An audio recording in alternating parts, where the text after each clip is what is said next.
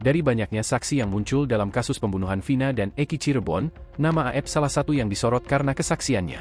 Seperti diketahui, Aep menguak kesaksian yang mengaku melihat kejadian saat pembunuhan Vina dan Eki di Cirebon tahun 2016 silam. Dalam kesaksiannya, Aep meyakini jika Pegi Setiawan alias Prong DPO yang ditangkap adalah pelaku asli. Aep mengklaim jika melihat Pegi di kejauhan 100 meter. Namun, kesaksian Aep ini dinilai bohong. Hal itu salah satunya disorot oleh Susno Duaji, ex kabares krim Polri yang meyakini 100% kesaksian Aep bohong. Kalau Aep 100% bohong, kalau Aep 100% bohong, 100 meter itu jauh jam 10 malam bisa melihat wajahnya gak dalam kondisi gelap gak kenal orangnya, tapi lihat wajahnya, pakai apa dia melihatnya, ucap Susno Duaji. Kendati begitu, Susno menduga bisa jadi kedua saksi ini pelaku penghilangan nyawa Vina dan Eki di Cirebon. Bisa jadi pelakunya, polisi lebih pintar dari saya, biarkan kita berikan kesempatan kepada penyidik sekarang, pasti sekarang mencari Aib itu, terang Susno.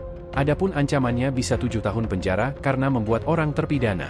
Sekarang banyak sekali panggung disorot berbagai TV siapa pun ingin muncul, tapi dia gak tahu akibatnya kalau salah ngomong akibatnya tujuh tahun penjara, sambungnya.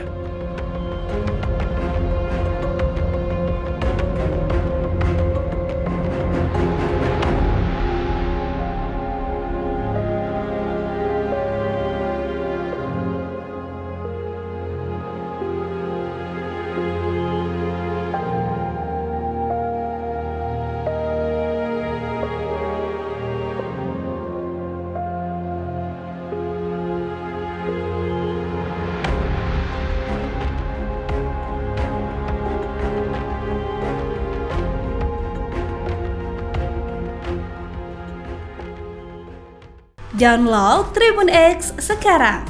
Menghadirkan lokal menjadi Indonesia.